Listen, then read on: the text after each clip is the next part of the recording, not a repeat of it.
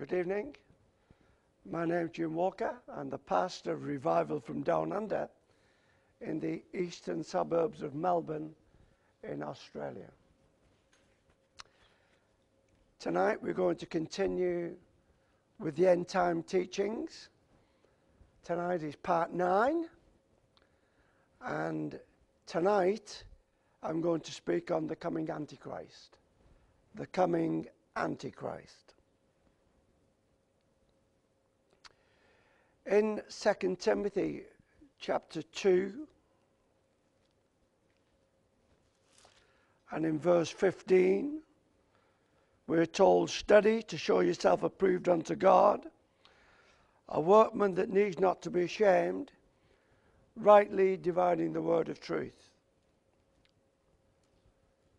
This studying, I believe, must be done from all Scripture because of what the Apostle Paul tells us in 2 Timothy 3, verse 16, where it says, All scripture is given by the inspiration of God and is profitable for doctrine, te- that is teaching, for reproof, that is evidence of, for correction, and for instruction in righteousness, that the man of God may be perfect, thoroughly furnished unto all good works. Now, without the studying of all Scripture, it really is impossible to get it right who the Antichrist is.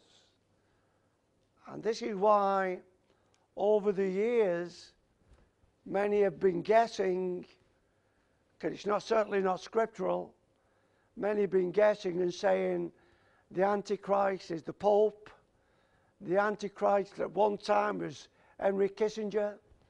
There's all been all kinds of people that, that have said the Antichrist is going to be.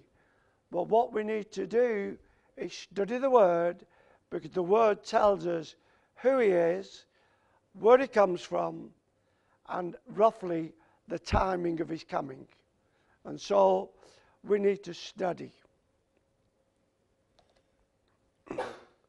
when we study, we find a very important thing. Scripturally, we find that the Lord is a God of order and pattern. He is a God of order and a God of pattern.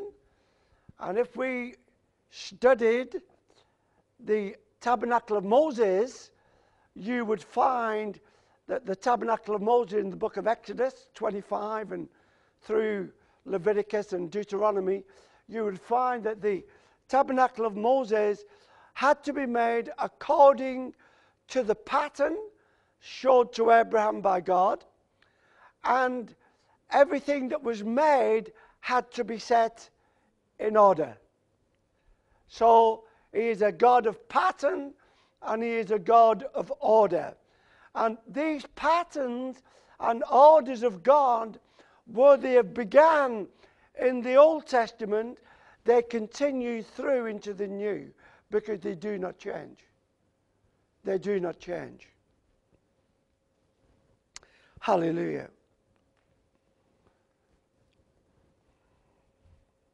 When we read about Jesus in the Gospels, we find that Jesus chose of all the followers that he had, which he called disciples, we find that he chose 12 and called them apostles. He chose 12 and he called them apostles. And as we study the 12s in Scripture, we find a pattern is established that one of 12 always falls. One of 12 always falls. And these are not from, these are, these are ones that have been chosen by God to fulfill the pattern. And you'll find that they're always the ones that are the one that falls is, is always one that's been close to God. Always one that has been close to God, not somebody that is, you know, just coming up from somewhere.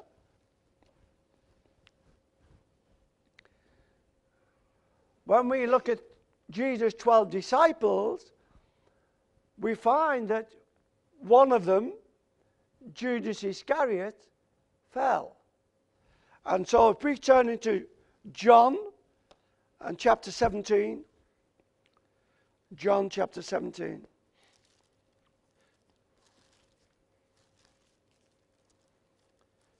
Jesus said,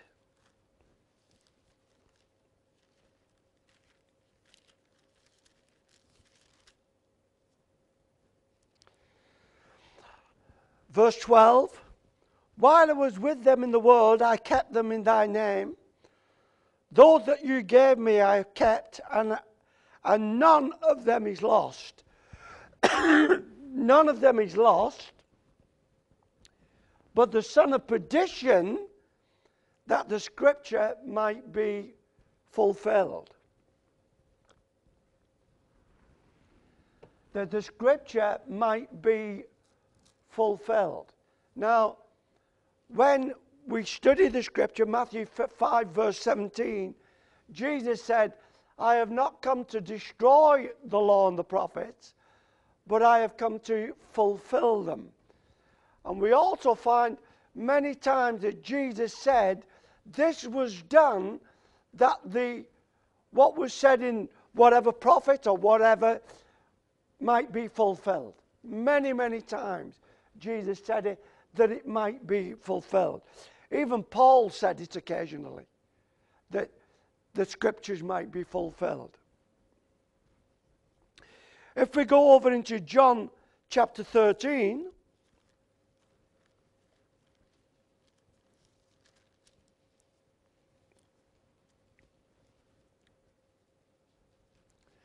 here, uh, at the supper, at the, the supper in, in chapter 13, verse 4, we find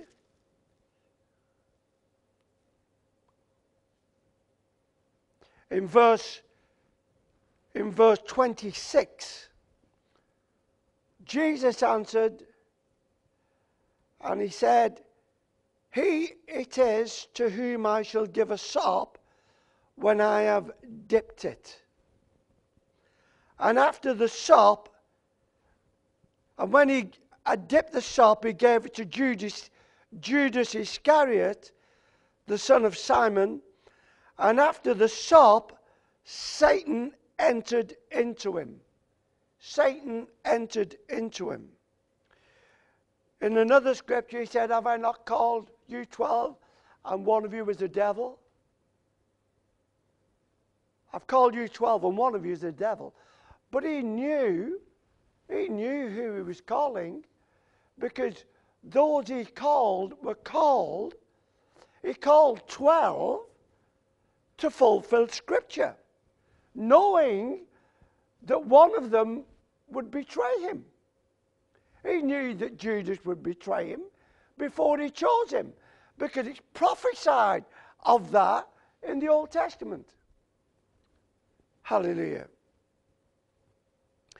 In fact, if you turn to Psalm 109, Psalm 109,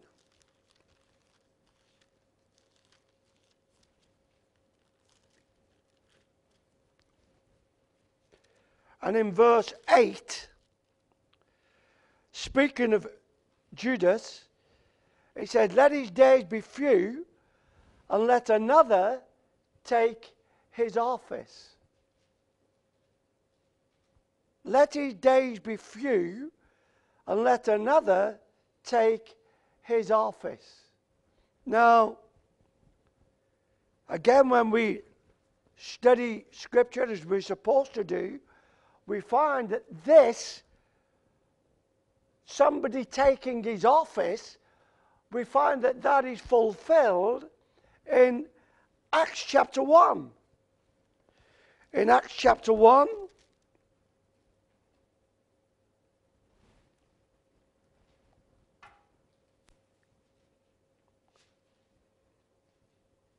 Verse 24, they prayed and they said, Thou Lord, which knowest the hearts of all men, show whether of these two that you have chosen, that he may take part of this ministry and apostleship from which Judas by transgression fell that he might go to his own place.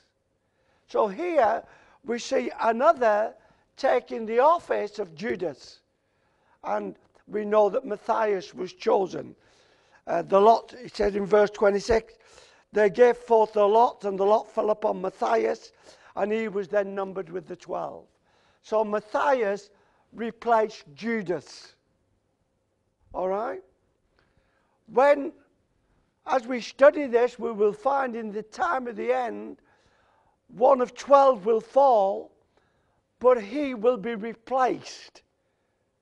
He will be, as Judas was replaced, he also will be replaced by another apostle. Glory to God. This pattern of 12 didn't uh, begin with Judas choosing 12. It actually began back in the Old Testament. And we're going to read a scripture now, but it didn't even begin with them because it began with Satan. When we study it, we'll have a look in a minute. It actually began with Satan in the heavens. But I want to go to Genesis chapter 49. Genesis 49.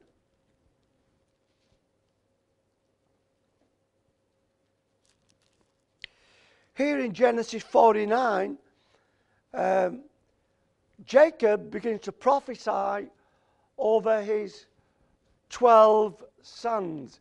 Is that, is that a coincidence that, that Jacob had 12 sons? Definitely not.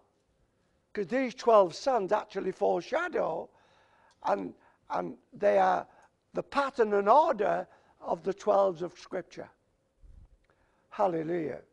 So he says in verse 3 of Reuben, Reuben, thou art, thou art my firstborn. The firstborn in Scripture was the blessed son. He received headship, being the firstborn, and he received the promises. But because, because of what he did, you are my firstborn, my might, and the beginning of my strength, the excellency of dignity, and the excellency of power, unstable as water. Thou shalt not excel, because you went up and you to your father's bed and you defiled it. You went up to my couch. We know if we studied that, that Reuben actually slept with one of Jacob's concubines and defiled Jacob's bed. So he wasn't going to excel. And so Reuben lost his headship and he lost his blessing, the double portion blessing. These were transferred to Joseph. And if you go back a chapter, you find that Manasseh and Ephraim, they took, they actually come in as tribes of Israel. When you study who went into the promised land, Ephraim and Manasseh were two of the tribes. So the what was upon Reuben has now been shared between Joseph's two sons. And you'll see that happen back in uh, 48, Jacob calls Joseph and his two sons to him, and it was customary to put your right hand upon the eldest son and your left hand upon the youngest one. But what we find, as with Jacob, Jacob was the younger of the two sons, and Jacob got the blessing. It was transferred from Esau to Jacob. And the same applies here. What Jacob did, Jacob was actually blind. And what he did, he had the, he had the, the eldest sitting at his right hand, and he had the younger sitting at his left hand. And this is what he did when he went to, he did that. And so here we see a, the cross. Through the cross, the anointing went to the younger, not to the older. So the, the right hand was laid on the younger one. And he got all the blessings. Hallelujah. Amen. Um, so Reuben is, is Reuben falls. One of twelve, Reuben falls. From these 12 sons, when we study, we also find there comes forth 12 tribes. 12 tribes. Now, when we continue in Genesis 49, we go down to verse 16, and he's speaking to Dan. And he says, Dan shall judge his people as one of the tribes of Israel. Dan shall be a serpent by the way, an adder in the path that bites, his, bites the horse's heels, so that his rider shall fall back. So here, Dan is likened to a serpent. Who's the serpent? Satan's the serpent. And he's likened to a serpent. And if you go into Revelation, if you go into Revelation 7, and you read Revelation 7, and you read from verse 3 through verse 8, you will find that Dan is missing. He has fallen. Dan is not there amongst the tribes. So here we've had Judas falling, foreshadowed by Reuben, and foreshadowed by the tribe of Dan. But as I said earlier, the pattern didn't begin there. It began in the heavenlies. And we need to understand Scripture so that we get this right. Hallelujah. Glory to God. In Matthew 26, if we turn to Matthew 26.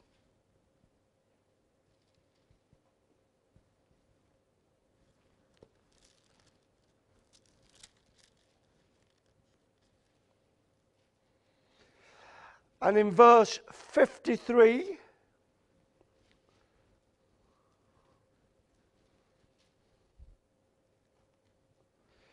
Jesus said in verse 53 Think thou that I cannot now pray to my Father, and he shall presently give me more than 12 legions of angels. But how then shall the scriptures be fulfilled? that it must be. He's talking then that, you know, he's got to go to the cross because it's been prophesied of him that he's going to go to the cross. So if Jesus called the 12 legions of angels to stop him going to the cross, scripture wouldn't be fulfilled. He said, he said more than 12 legions of angels.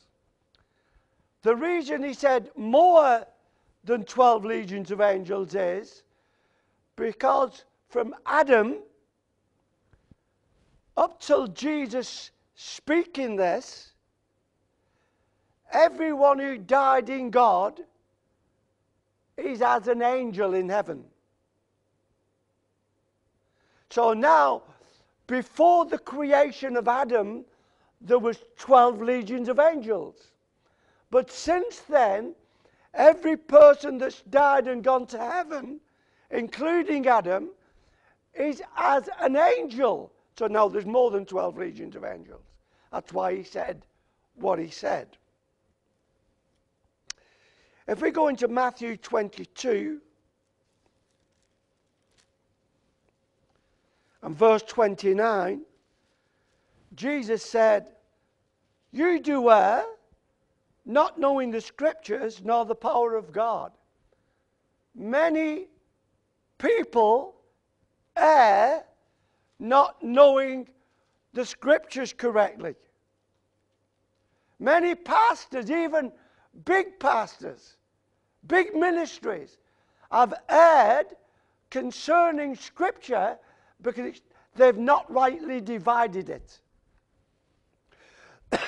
and God will show them if they've got a heart and ears to hear.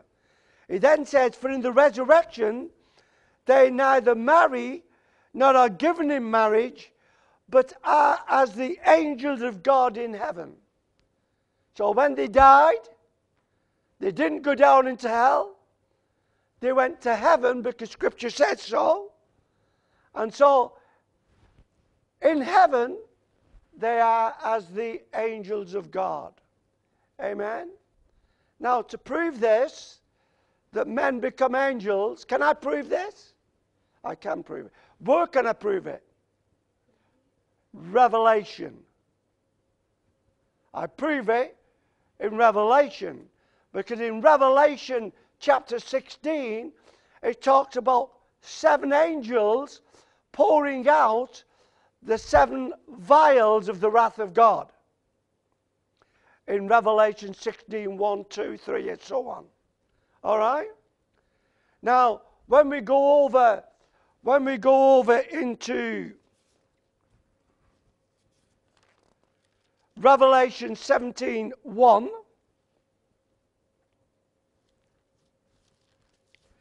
we are clearly told, and there came one of the seven angels which had the seven vials and talked with me. John saying this, John said, One of the seven angels came and talked with me. And you'll find that through the rest of the chapters, that this angel speaks to John and tells him things that are going to happen. Amen? If we go into Revelation 19, verse 9, and it, and it said, He said unto me, Who? Who said unto him? The angel said unto him, He said unto me, Write blessed are they which are called unto the marriage supper of the Lamb. And he saith unto me, These, th- these are the true sayings of God. and I fell at his feet to worship him. And he said to me, Don't do it. I am your fellow servant and of your brethren that have the testimony of Jesus Christ. Worship God. So here, this angel just tells him, I'm just a human being like you that was on the earth and has been saved, and now I'm, I'm just as an angel. Hallelujah. If we go over into Revelation 22, again, verse 22 it says, verse 1 it says, and he showed me, who showed me? The angel. He showed me a pure river of life. Amen. And then he goes down into um, verse 8. And I, John, saw these things and heard them. And when I heard them and, and seen, I fell down to worship before the feet of the angel which showed me these things. Then said he unto me, See you do it not, for I am your fellow servant and of your brethren the prophets. So this guy was a prophet, a fellow servant of John, and a prophet. And he's shown as an angel because there are all angels as angels in heaven. Amen? Glory to God. We need to understand that to help us rightly divide what I've just said about the 12 legions of angels and those angels that are after. Amen. The 12 legions of angels, they were created beings that you may think have wings, flapping angel, things like type, but they are the original creation before Adam was created. Glory to God. If we go over into Luke and chapter 10.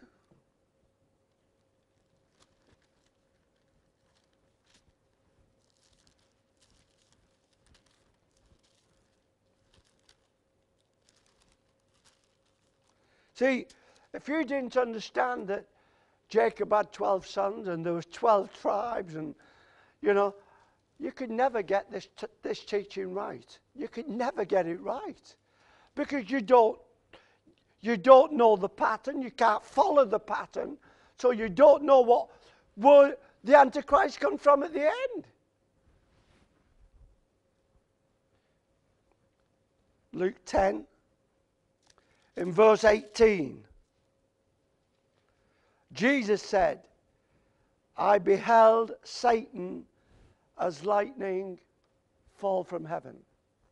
So, Satan, the head, Satan was the head of one of the legions. He was the scene, you may call him a legionnaire because that's what a head of a legion is. A le- head of a legion is a legionnaire. So he was the head of one of the legions, one of one of these 12 legions. And Jesus said, I saw him fall. When did he fall? When did Satan fall? He fell in Genesis 1 when darkness covered the deep. That's when he fell. Sometime before Adam was created. Jesus, being God, obviously saw him fall. Hallelujah. Amen.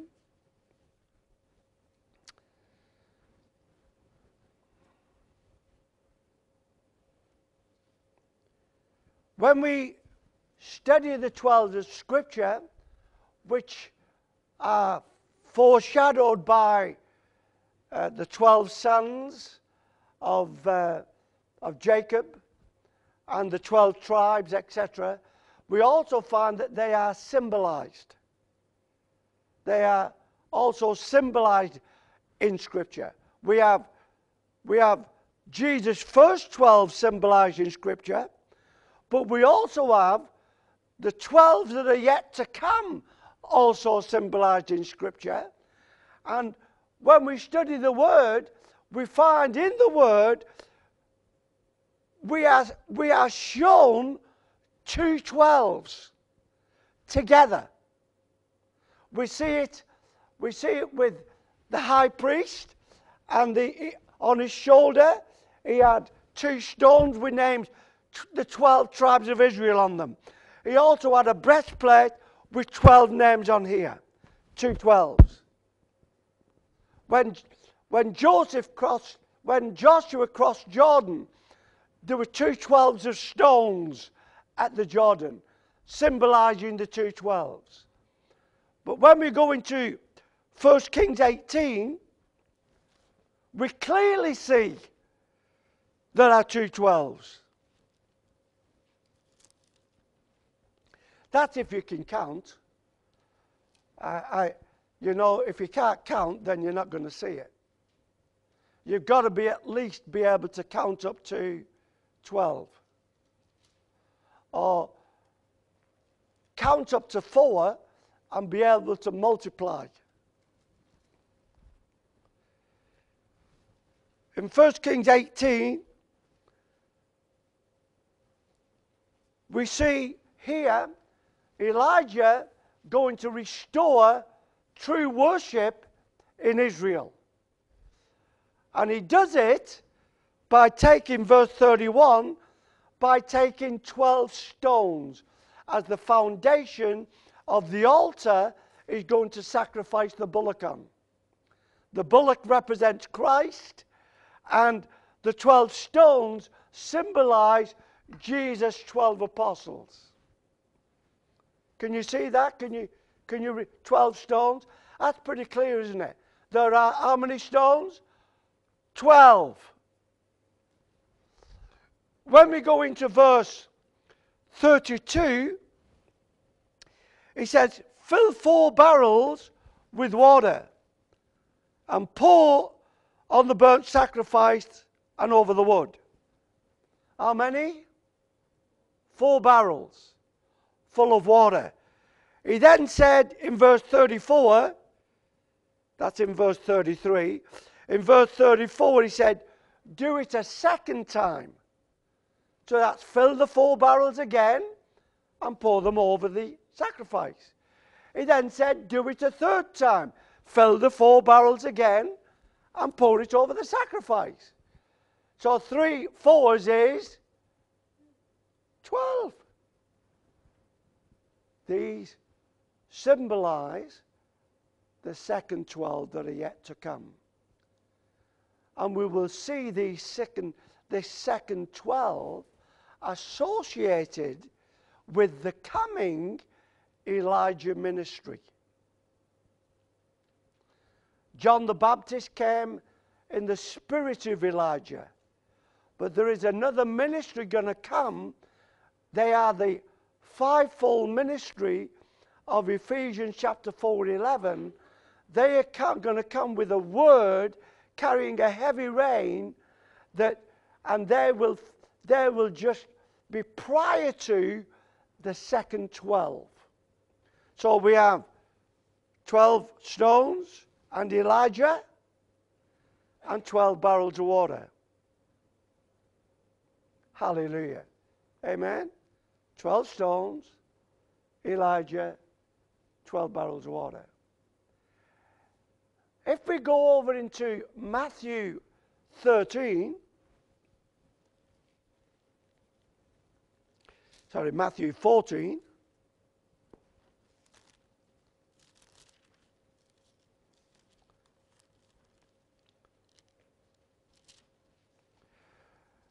In verses 16 through 21, here we have Jesus feeding 5,000. Jesus feeding 5,000.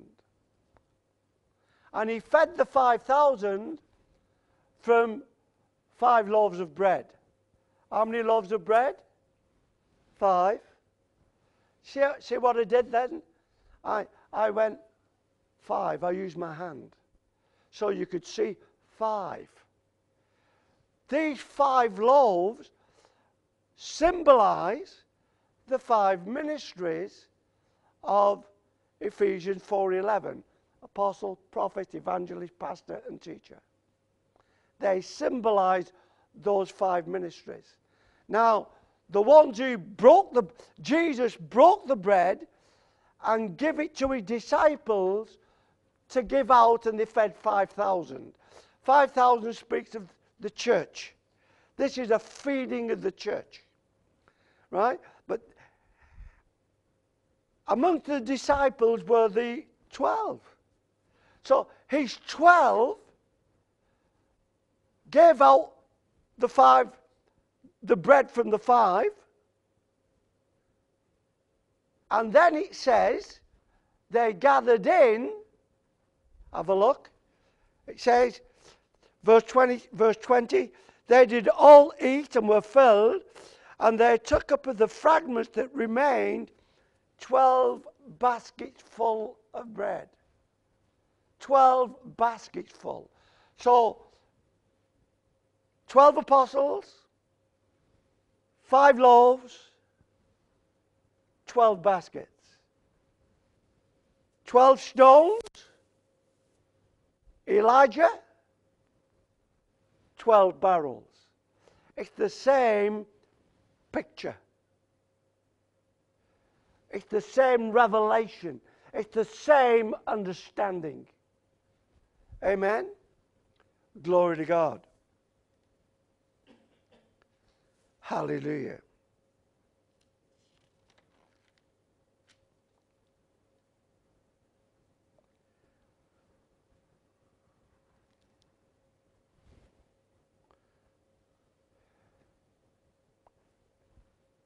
We go over into Revelation chapter 4, it speaks of 24 elders.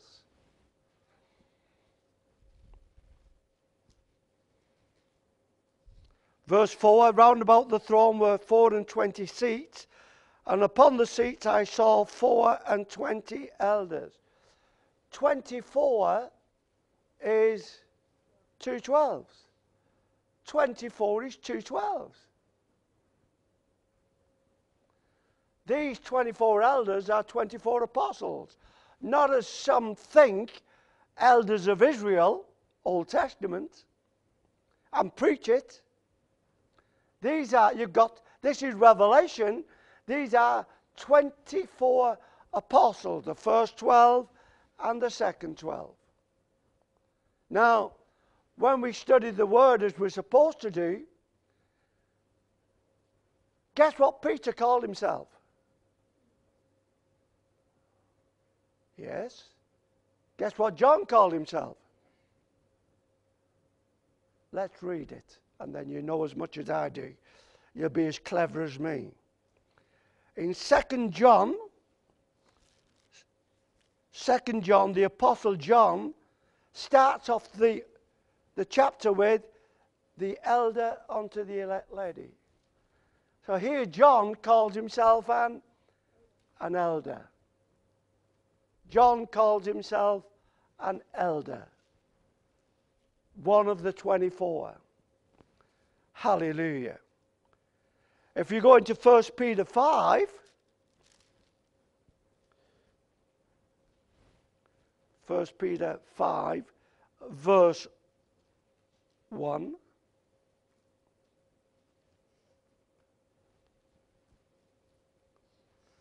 The elder the elders which are among you I exalt, who am also an elder.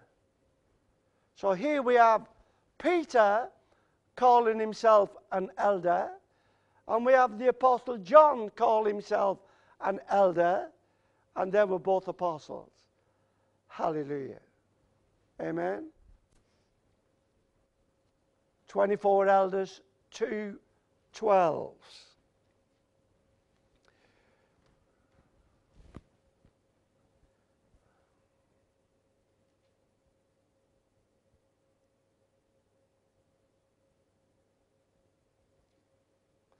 These 12 are symbol, the second 12 apostles are symbolized in Revelation 12:1 by 12 stars around the head of the woman. This woman, when studied correctly, is the bride or the wife of the Lord Jesus Christ. And it says in verse 1 there appeared a great wonder in heaven, a woman clothed with the sun, the moon under her feet, and upon her head a crown of 12 stars. So here, these 12 stars symbolize the 12 that are yet to come. They are also symbolized in Revelation 21. In Revelation 21, they are also symbolized by verse 12. And he had a wall, it had a wall great and high. It had 12 gates, and at the gates 12 angels. These 12 angels, an angel is a ministry, an angel is a messenger, can speak of a pastor, etc. And these 12 angels represent the second 12 apostles of Jesus Christ, the 12 that are yet to come. Hallelujah.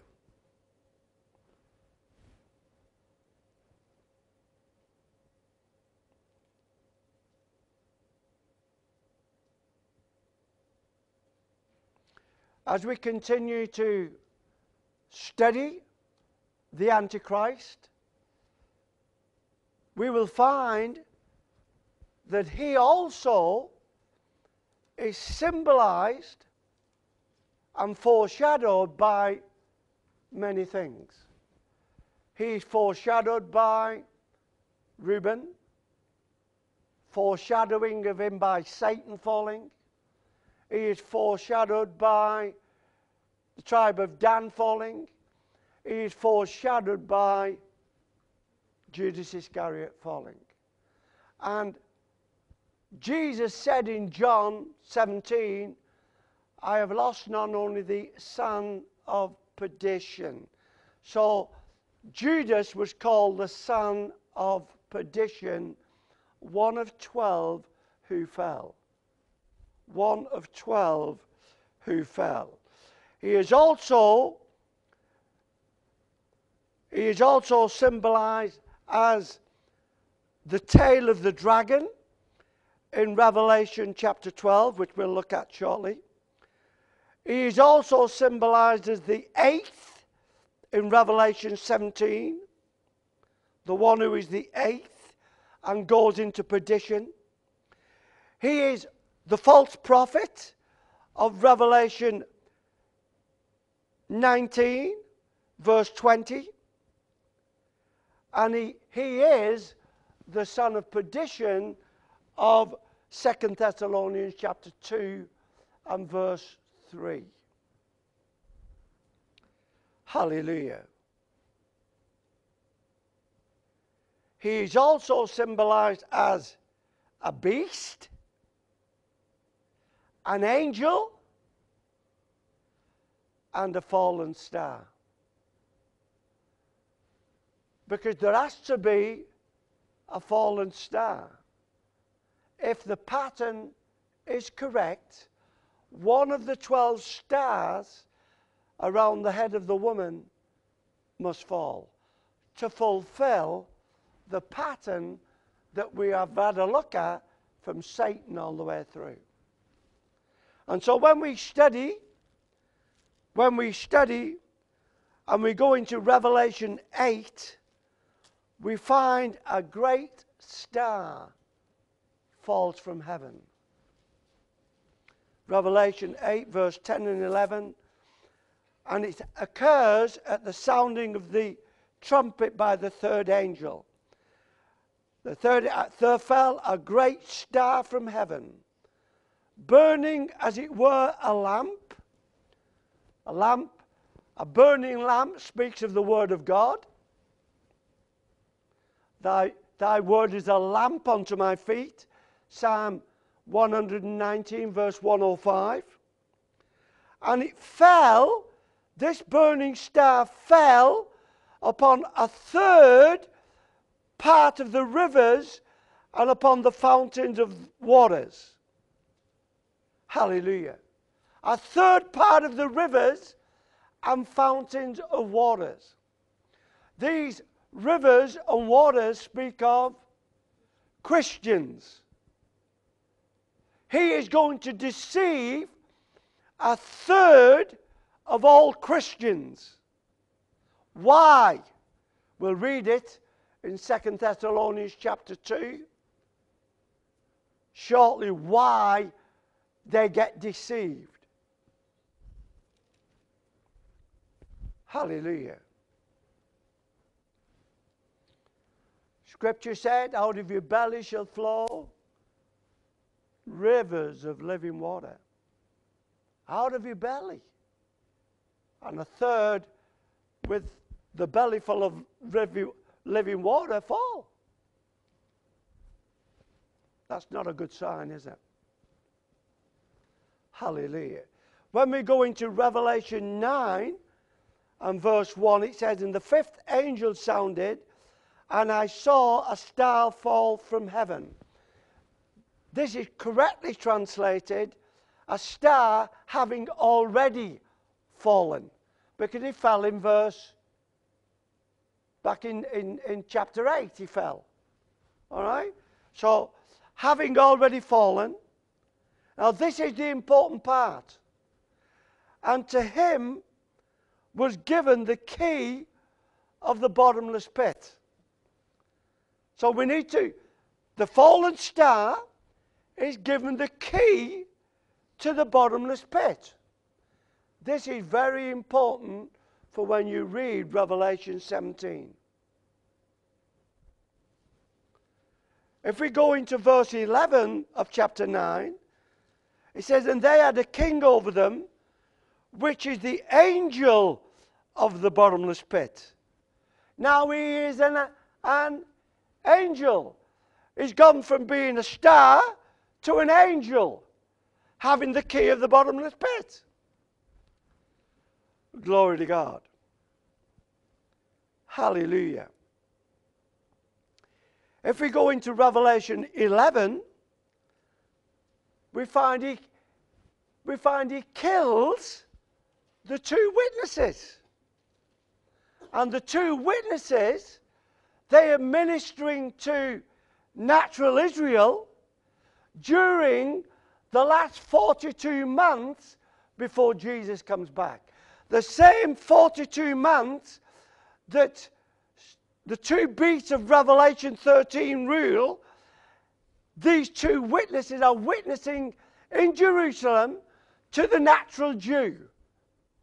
And it says in verse 7 And when they shall have finished their testimony, the beast that ascends out of the bottomless pit now he's a beast.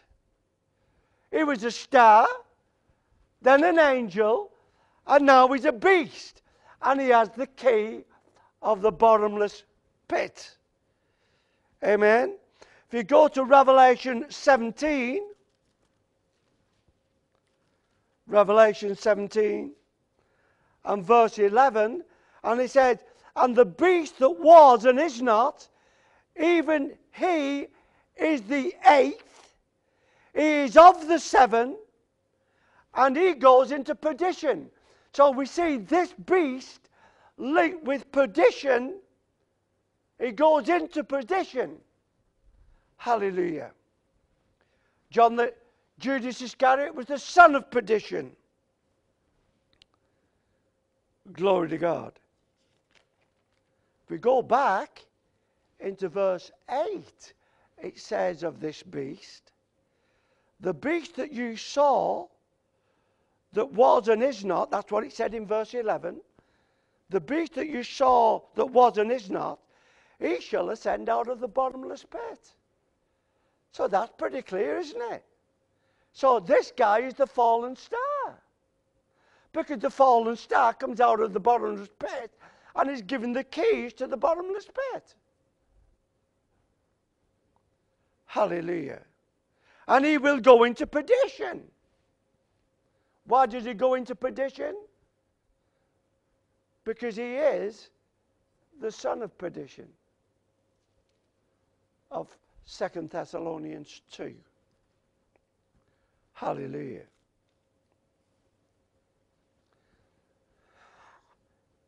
He is also, I said, symbolized by the tail of the dragon. And so if we go into Revelation 12,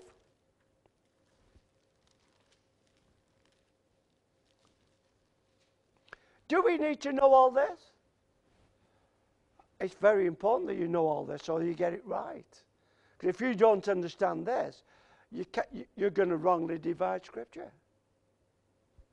You'll say all kinds of things that have been said over the last 2,000 years about the Antichrist. Revelation 12, verse 4, verse 3. There appeared another wonder in heaven, and behold, a great red dragon. Now, when you read further down, this great red dragon is Satan. Verse 4 And his tail drew the third part of the stars of heaven. So here we have Satan, seven heads and ten arms, and the tail joined as one body. Joined as one. Because they are one. The heads, the tail, and the body being Satan. Hallelujah. So, who is the tail of the dragon? Well, again, you've got to study. And you've got to go back into Isaiah chapter 9, and it tells you who the tail of the dragon is. Isaiah 9 and verse 15 says, The ancient and honorable, that is God the Father, he is the head. And the prophet that teaches lies, he is the tail. The prophet that teaches lies, speaking of the false prophet, he's false. Why is he false? Because he teaches lies. The false prophet of Revelation 19, verse 20, is the tail of the dragon. So the tail of the dragon is the false prophet, and the false prophet we find is the second beast of Revelation chapter 13 because they both do the same things. They both do the same things. Hallelujah. If we go into Second Thessalonians, Second Thessalonians chapter 2.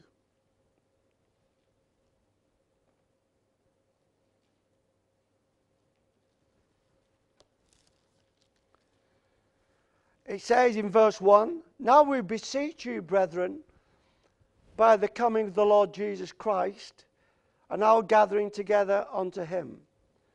Now we've just, in the, in the chapter prior, verse 7 through 10, it tells how God is going to, how Jesus is going to come back in flaming fire. The return of Christ is going to be in flaming fire. So it's talking about the same coming. It's the same coming of Jesus in flaming fire. That you be not soon shaken in mind, or be troubled neither by spirit, nor by word, nor by letter as from us. As that, that the day of Christ is at hand. Paul's telling us 2,000 years ago, the day of Christ is at hand. Well, it is now.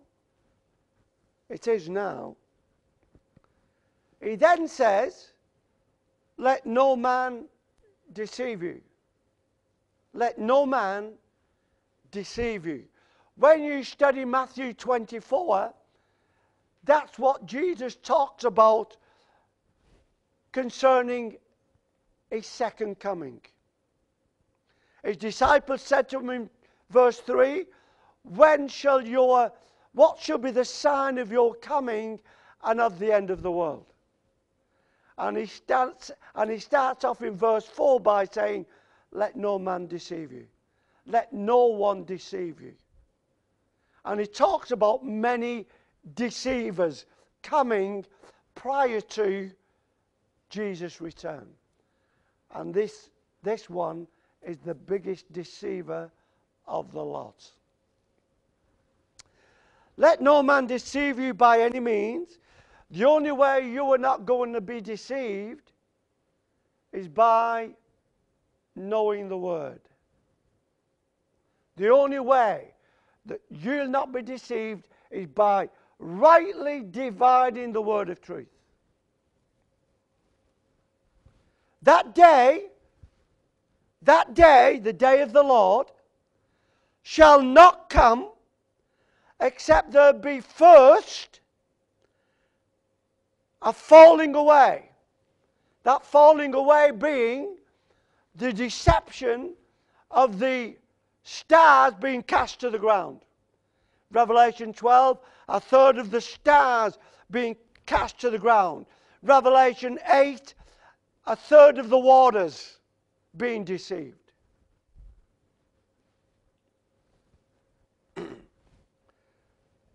and the man of sin be revealed, the son of perdition. The man of sin being the coming Antichrist. he cannot be revealed until it's time. And his time will be before Jesus comes back. His time will be before Jesus comes back. If we carry on, he's called the son of perdition. Judas Iscariot was called the son of perdition.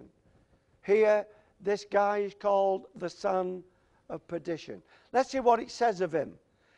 He, verse 4, who opposes and exalts himself above all that is called God and that is worshipped, so that he, he as God sits in the temple of God, showing himself that he is God. What is the temple of God? The church is the temple of God. He's going to be sitting in some churches telling them he's God. And he'll, he'll be proving himself to be God by doing miracles. By doing miracles. Because that's what he does in Revelation 13, verse 11 onwards. He does miracles. He does miracles to deceive. Remember ye not that when I was yet with you, I told you these things? And now ye know what withholds, that he might be revealed in his time. For the mystery of iniquity does already work, and he who now lets, will let, I believe that's speaking of the Holy Spirit, because he's at the moment he's stopping everything from happening, until he the Holy Spirit is taken out of the way. At the beginning of the last 42 months, when the Antichrist has sole rule, the woman of Revelation 12 is taken out of the way into the wilderness by eagle wing power. The Holy Spirit goes with her. So when he is taken out with the woman, it then says, Then shall the wicked one be revealed. That is at the beginning of the last 42 months. Because the woman goes into the wilderness for 1260 days, and 1260 days is three and a half years, and three and a half years is 42 months. The same period of time as the two witnesses, and the same period of time given to the two beasts of Revelation 13. Hallelujah. Let's continue to read. Then shall the wicked be revealed, whom the Lord shall consume with the spirit of his mouth, and shall destroy with the brightness of his coming. Revelation 19. And it's verse, and you can read, he, he destroys him in Revelation 19, verse 20, by taking him and casting him into the lake of fire. Even him whose coming is after the work of Satan with all power, signs, and lying wonders. If you read Revelation 13, verse 11 to the end, that's what the second beast does. It does signs and lying wonders to deceive all those upon the earth, to receive the mark of the beast. Hallelujah. With all deceivableness of unrighteousness in them that perish, because they receive not, they receive not a love for the truth. What's a love for the truth? My word is truth. Are you glad you prayed for that the other night? Because if you don't have a love for the truth, you will be deceived. You will be deceived because it says so. Because they received not the love of the truth that they might be saved. And for this cause, and for this cause, because they did not receive a love for the truth. For this cause, God sends them a strong delusion that they believe the lie. The lie being the Antichrist in the temple of God, doing lying signs and lying wonders. And because they don't know the truth, they believe the lie. If they knew the truth, they would know it was a lie. And there were false signs and wonders.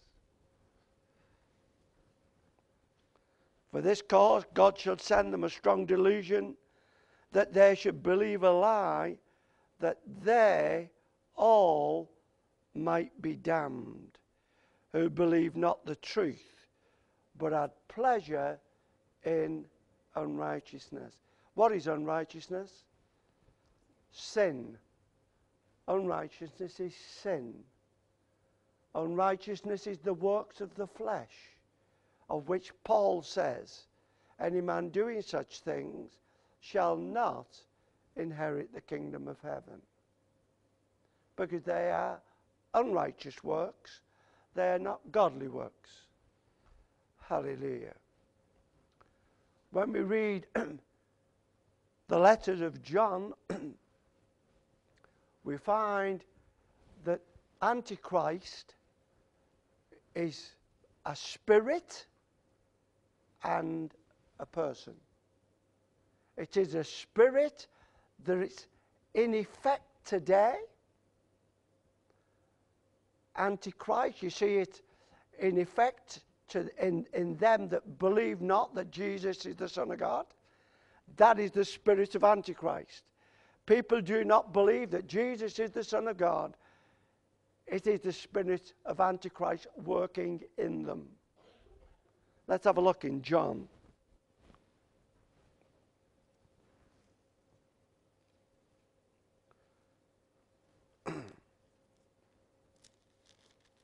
In 1 John chapter 2 and verse 18. Little children, it is the last time. And as you have heard, that Antichrist shall come. So here he is Antichrist shall come. But we know there are already been those that are Antichrist. But the Antichrist is yet to come. Amen? and in 1 John 4, 1 John 4 and verse 3, every spirit that confesses not that Jesus Christ is come in the flesh is not of God. And this is the spirit of Antichrist. Hallelujah. So, anybody that refuses to believe that Jesus is the Son of God is affected by a spirit of Antichrist. Hallelujah. Hallelujah. When we read Revelation 13, the Antichrist is the second beast of Revelation 13, verse 11 onwards. He is the Antichrist. He is the son of perdition. He is a fallen apostle, the fallen star, the son of perdition. He is all these things. He is the coming Antichrist. The first beast of Revelation 13, he is also Antichrist. He is not the Antichrist, but he is affected by the spirit of Antichrist. He is not only Antichrist, he will be anti all religions because he tries to set himself up as the one to be worshipped in the last 42 months. He's anti God, he's anti every God. But there is only one true Antichrist. The beast of Revelation 13, I will speak on next week. We will do them two separate weeks so you don't get confused. Is that okay? Amen? So next week, the, I don't know, I can't remember what I've called it, but it's the first beast of Revelation 13 and who he is. He is actually a last world dictator. He is the last world dictator this world is ever going to see. He rules all the world. And we will see that when we study him next week. And everybody said, Amen. God bless you.